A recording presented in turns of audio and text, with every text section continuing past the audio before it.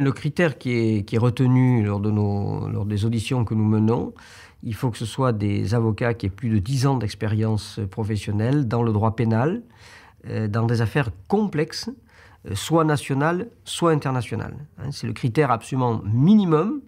Euh, il faut avoir pendant au moins 10 années pratiqué le droit pénal dans son pays ou devant des tribunaux internationaux dans des affaires de grande complexité.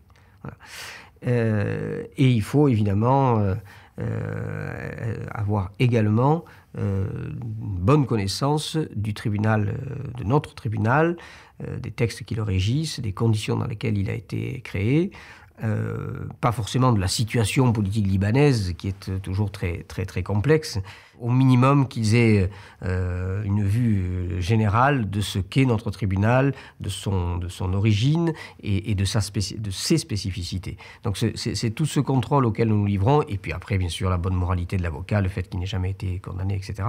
Donc ce sont des interviews qui durent une heure, soit face à face, soit par téléphone, et euh, qui sont dirigés par un panel euh, d'avocats que je préside, dans lequel il y a euh, une avocate libanaise et un avocat de la common law. dernièrement, c'était un, avocat du, Canada, avant c'était un autre avocat de la common law. Voilà, donc c'est vraiment des, une sélection assez sérieuse qui fait que certains avocats n'ont pas, pas réussi, si vous voulez, leur, audition. Tout de suite et qu'il faudra donc qu'ils se, qu se représentent s'ils le souhaitent par, par la suite, mais après euh, euh, avoir acquis plus d'expérience et de compétences.